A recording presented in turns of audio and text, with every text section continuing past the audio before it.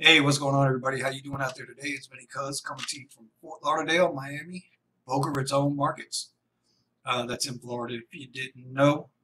Anyway, um, today I want to talk about uh, something that just got introduced onto the market.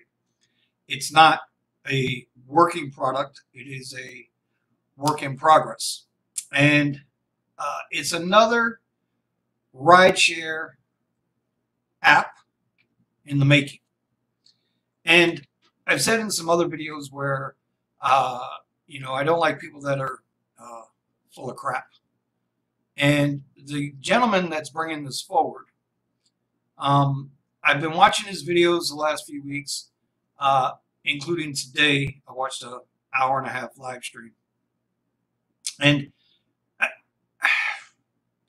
so we all know the story behind Juno. We all know the story behind Trip. Uh, we all know the story about Rideshare Austin. Um, Via, which I think Via is still working in Chicago, maybe a couple other cities, but it's it's it's not a player, right? We all know that in the driving game with passengers, Uber and Lyft are the uh, they're the daddies. Um, these other apps like Juno, uh, that was built by a software engineer firm. Um, we know that they promised the world to drivers and it didn't happen. Uh, as soon as they became valuable enough for their data, um, they sold out to whichever company bought them. Rideshare Austin, we know what happened with them. Um, you know, when Uber and Lyft pulled out of Austin, Texas, if you didn't know, it was over fingerprinting. Um, riders and drivers took to Facebook, other social media platforms to arrange rides and uh, Rideshare Austin was born. And they were doing great until uh, Uber and Lyft came in and, and kind of came back into the city, whatever they worked out, whoever they paid off, whatever it was. Um, and Rideshare Austin kind of got crushed a little bit. Uh, in the past couple of years, I've seen several different um, ride-hailing apps kind of come into uh, the viewpoint of drivers, but never any of them get off the ground and have uh, sustainability. So with this guy, uh, Torsten, rideshare professor. Now my story on him is pretty simple, right? Um, a couple of years ago, I kind of stumbled across his videos, and there were some things that he was doing at the time that uh, you know interest me, and so I started paying attention, started listening. Um, other than a couple of maybe comments made. We've never spoken. But, you know, you can tell a lot by the way uh, a person carries themselves, presents themselves. So what, what Torsten was at that time was trying to get drivers to understand uh, that you don't just have to rely on Uber and Lyft, right? That you should be looking for the ancillary businesses, kind of like what I was talking about, military base, everybody around it, and getting into business for yourself legitimately getting into business for yourself, creating your own courier company, your own uh, private car service, limo service, whatever, however you want to term it. And then, but I've noticed uh, over the last, oh, I don't know, 20 or so videos, 30 or so videos, um, you know, there's been a lot of, uh, and I hate to say this, but I don't want to say bashing videos, but just negative videos, right? And not enough focus on, you know, uh, promoting that entrepreneurial, uh, you know, business, getting out there for yourself. But then lately, and there's a lot of videos here, there's some really good videos here. Um, I would encourage you to check him out, Rideshare Professor. Uh, I'll attempt to drop his link down below in the comment section. Uh, but lately, he's been on this thing of uh, creating his own rideshare platform. And in doing so, creating it based around the driver's needs and the rider's needs, not necessarily the corporate needs. And I'm going to be honest with you, I'm a little skeptical at this moment. Um, this is a gentleman that says he's created a lot of different businesses and he's had a lot of success. The uh, the first thing they came up with, you know, uh, like something concrete, was this streetteams.com, right? So streetteams.com is a driver uh, forum. And you can see there's plenty of things here that you can talk about, you know, what's trending. It's a brand new site. And if you're a driver, go ahead, it's free to sign up. But there are different things in here that, uh, you know, different levels that you can come in at. And the first thing I noticed, because that's the first thing I always notice, is uh, they were asking for uh, monetary donations. Um, you can come in at this level, or come in at this level, or come in at this level. Now, I, am really not sure what you get out of these different levels. Uh, you know, something might be a shout out, something might be um, did you pick on a live stream, whatnot. Um, so I was a little skeptical there, right? Um, but then yesterday, on the 4th of July, let me get here. Pardon me because there's so many videos going on here. Uh, here it is. This video right here. Uh, happy 4th of July. Goat Rideshare Funding Platform is launched. So I worked all day yesterday, as I'm sure most of you guys did too. So I didn't get a chance to really go through this whole video, but I went through snippets uh, on my phone. And again, the first thing I see is they're asking for a donation, asking for a donation. And so today during the live stream, I got a chance to ask the question, well, why?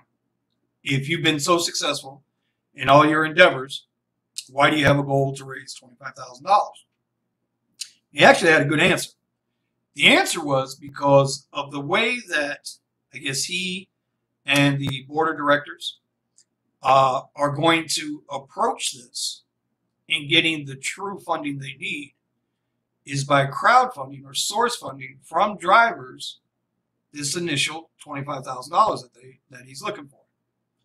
Um, he says that this will go towards obviously administrative costs, not salaries, but costs, uh, because you got to build something, right? You got to you got to pay for whatever you need to build it, um, and then uh, some type of legal fund to help defend drivers.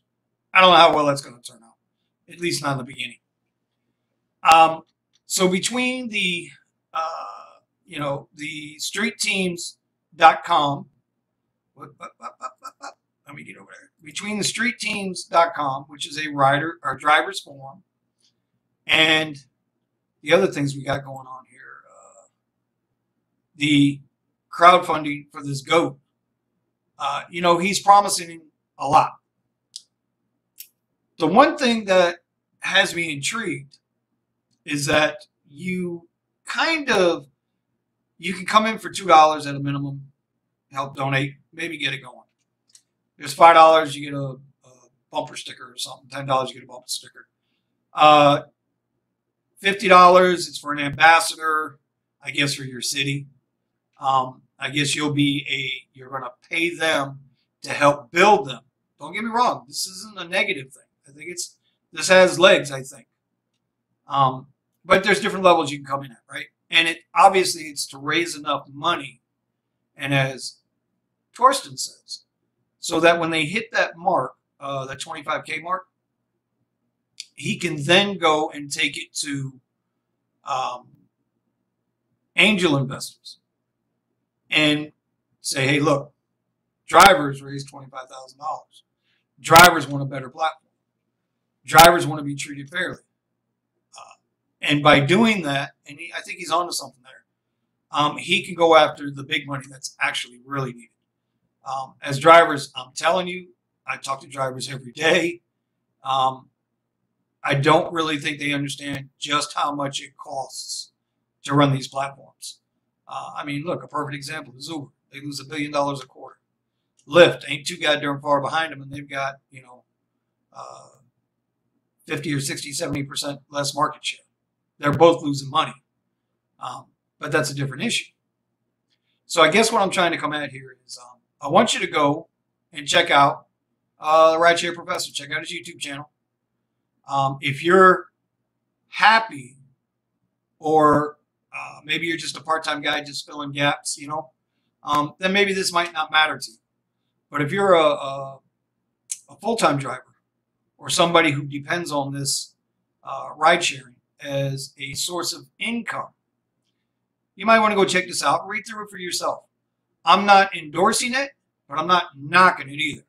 I think uh, this might work as long as the uh, board of directors is structured properly and that there's 100% complete transparency.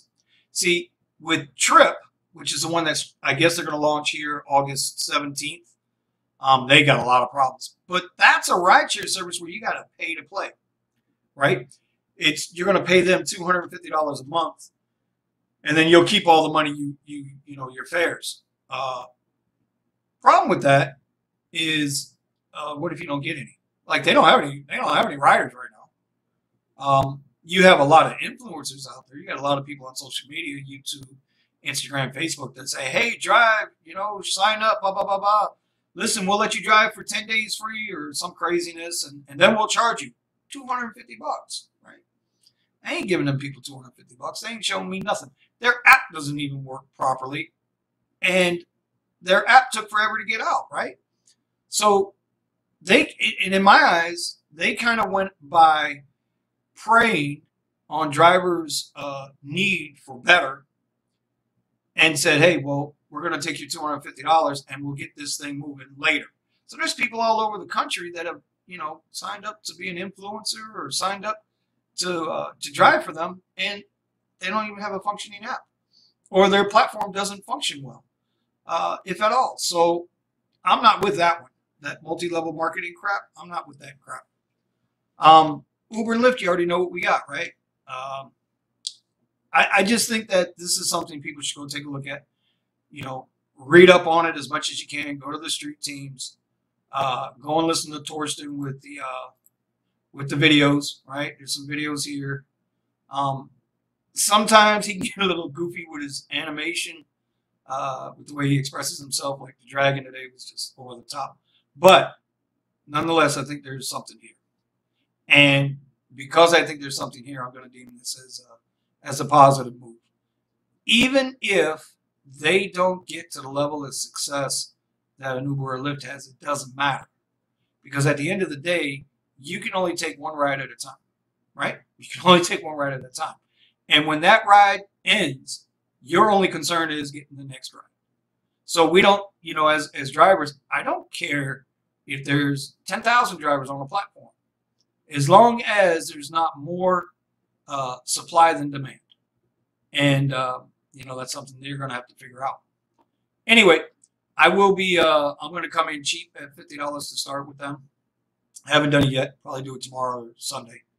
Um, I just, if you got questions, go check him out, Rideshare Professor. He puts an email in his, after every video, a phone number, and, uh, and we'll see what happens. He'll be here August 17th um, I'm hoping to get a chance to meet him. I put it out there to him, um, but we'll see. And if he does come into town, uh, I'll do a follow-up video, maybe go live or whatever, and we'll, uh, we'll get this thing going.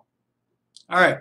Well, that's it for today. Um, I did put out a video the other day about looking for positive topics. Um, I mean, listen, I just turned 30 subscribers. I'm brand new at this. But there were uh, there were a few comments that were dropped in there, and uh, I'm going to do a follow-up video on that. Because if as long as we're not talking about the money, there's a hell of a lot positive about rideshare. But money's why we do it. Peace out.